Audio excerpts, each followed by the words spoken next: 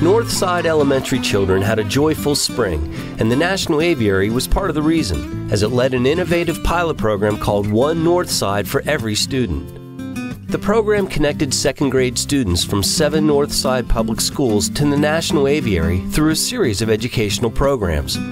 The result was an enriching K 8 experience and extracurricular support for student academic proficiency. Second graders in their academic experiences are starting to learn about animals, their behaviors and adaptations. And so the ability for us to bring live animals to the second graders in their classroom and then have them come here to visit our um, facility, I think provided a great opportunity for kids to see animals up close, to connect to their natural world, and to also understand better the, uh, the behaviors, adaptations, and um, and environmental connections that they're starting to learn. So I keep saying the word adaptation. An adaptation is anything that helps an animal survive in the wild.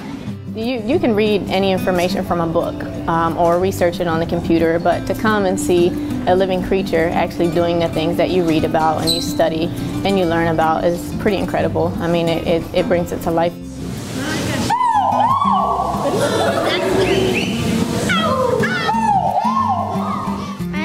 Classes that you have here at the aviary because you get to see different birds and some of them are cute and some of them are fierce and others just wander around on the ground or something.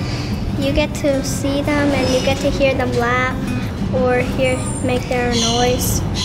In addition to classroom activities and aviary visits, another part of the program was the aviary's bird banding project. Ornithologist Bob Mulvihill showed a few lucky students how to gently grasp a chipping sparrow before releasing it. At first, it was like they were facing their fears. You know, they got to feed um, some of the birds in the, the tropical rainforest, and at first they were, you know, timid, they were hesitant, they were fearful, but it was one of those things where it's a once in a lifetime experience, so to speak. So to see them face their fears was, was pretty incredible. When spring weather arrived, aviary staff members installed temporary bird feeding stations at each school. Here at Manchester Academic Charter School, students were issued binoculars to get a closer look at the dining and nesting habits of local birds. At the end of the second semester, the National Aviary hosted showcase days that gave parents and educators the opportunity to view the students' meaningful achievements. Second graders told us what they'd learned.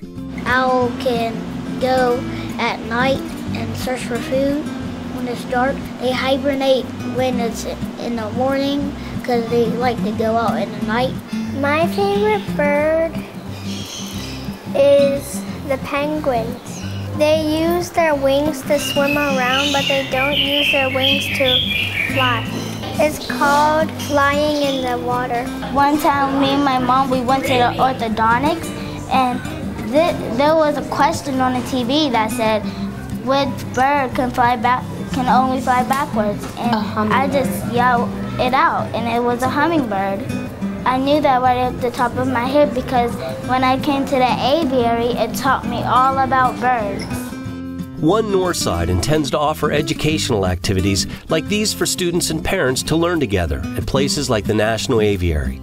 It was the first time at the aviary for a parent named Lindsay, prodded by her daughter from Propel Northside she was just like, we have to go, we have to go. And I'm like, okay, okay, okay. So I feel like I'm a big old kid looking at different things, um, different smells too.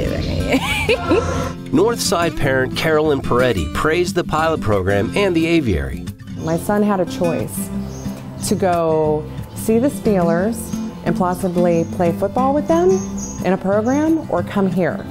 And he chose to come here because he wanted to tell me all about what he learned about in the classroom this week and over the last couple of months. He wanted to show me his artwork that he did.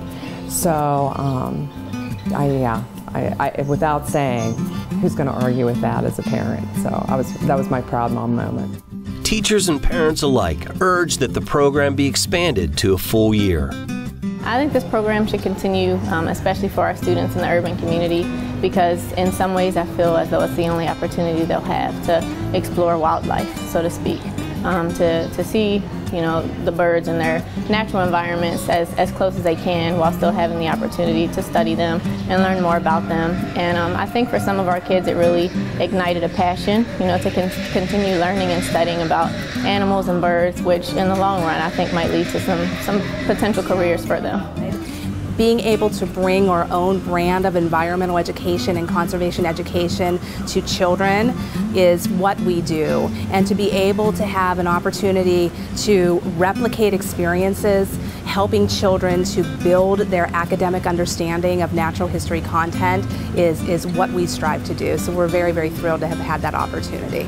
We love the aviary.